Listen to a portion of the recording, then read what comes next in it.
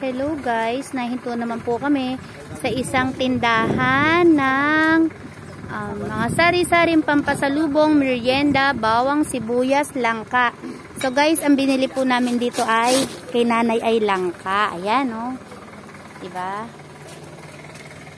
So, mutsanan langka, alam na. Ate, patimbang pa po kaya isa na. Ito pa po. Sa bawang niyo po na to magkano ang kilo? Ito po ate. Sa ganito magkano ang kilo? 120 po. Oh, 120. So, ayan po. Black beans. Tita Edith, oh. Diba black beans to? Saan masarap ang black beans? Sinigang? Munggo pala. Munggong itim. So, guys, ito po. Dito po sa, saan na tayo? Ang lugar? Ate, ano pong barangay na to?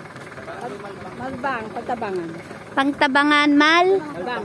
Malbang. So, yan, sa kanya po kami bumili. Yan. Watch nyo po kami sa YouTube, Ria Parulan Channel. So, yan po yung kanyang ano. Bumili po kami ng langka. Ayan. Opo, ayan, papuntang Baler. Madadaanan nyo po to along the highway. Ah, walang, walang pangalan yung ano ni Kuya eh. Apple. Ah, Apple Store. Yan, sa mga madadaan dito, Apple Store. Murang-mura po. Tingnan nyo, yun lang ka. Murang-mura, guys. May discount pa. Yan. Pising kamas. Mayroong manggang hinog. Sa mga mai-stop para bumili. Siyempre, ito yung mga oh, tabako, pang-alay sa mga tikbalang. Alam nyo na. Tabako, Tita Edith, di ka bibiling tabako. Murang-mura lang, oh. Tabako, kailangan natin yan, tabako. TJ, magkano? Orange powder. Ano mo? Sige. Tama muna doon sa ano natin. Nga nga kali, ano na. Di. Kuha mo ko. 30. Doon sa...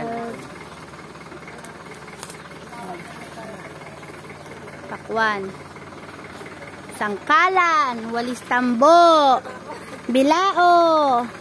Basket. Ayan po. So, ito po yung mga native na sangkalan. Sangkalan, guys.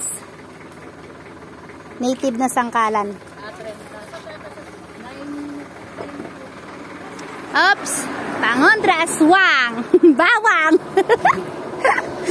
Yan, bawang guys. Meron din silang pang-alay, manok, charot. Pang-alay or pang-ulam or pang-kain. Yan.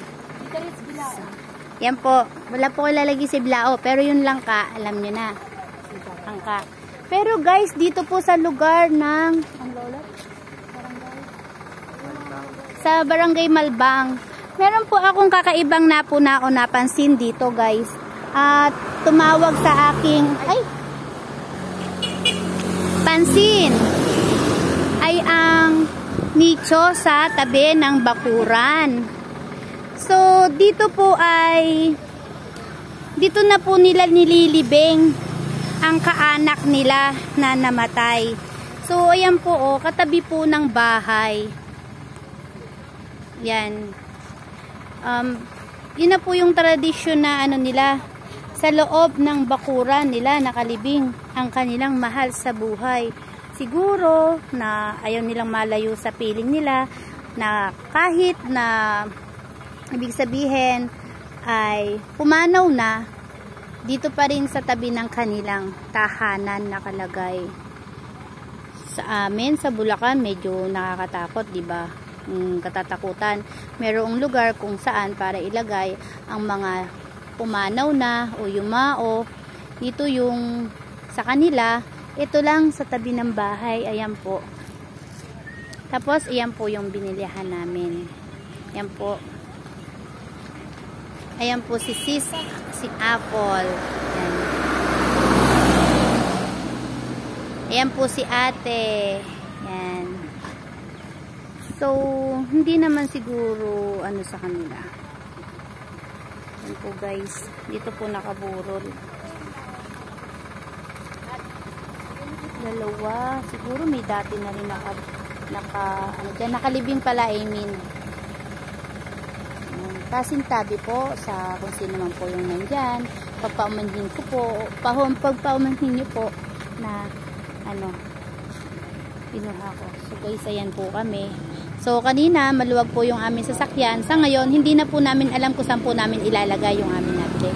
So pwede siguro ano, itayo mo na lang yung dalawa dito. Tapos patong na lang natin yung iba. So it, itong isa dyan mo na lang itali o kaya dito. Dito na lang sa kabila. Ito, dito mo na lang ikapit oh. Yung isa, yung dalawa yung dyan. Meron dyan tali eh, hanapin mo ba? So guys, ayan po.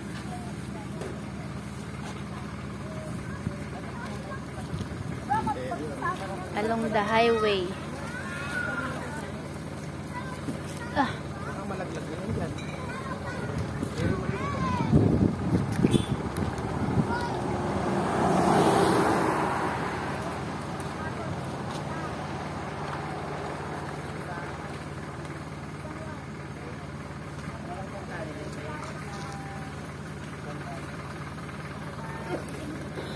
Presko. Kasing tabi, iba po yung nararamdaman ko at iba yung nasasagap ko. Kaya lumayo po ako doon. Medyo sinamaan po ako ng katawan. Marahil, hindi na bendisyonan yung inilibing doon. Kaya lumayo na po ako ng konti.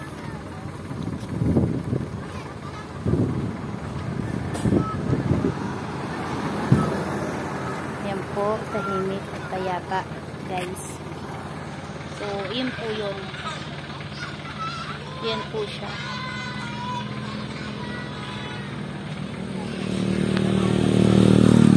Naayos sa po yun.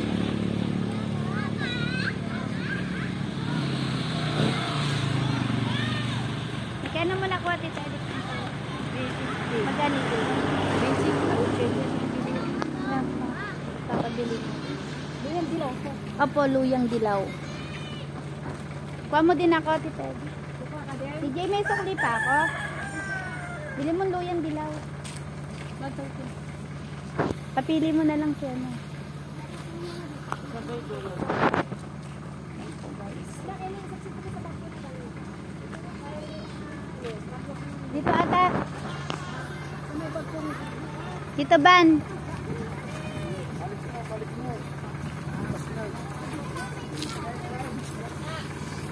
妈，咱不想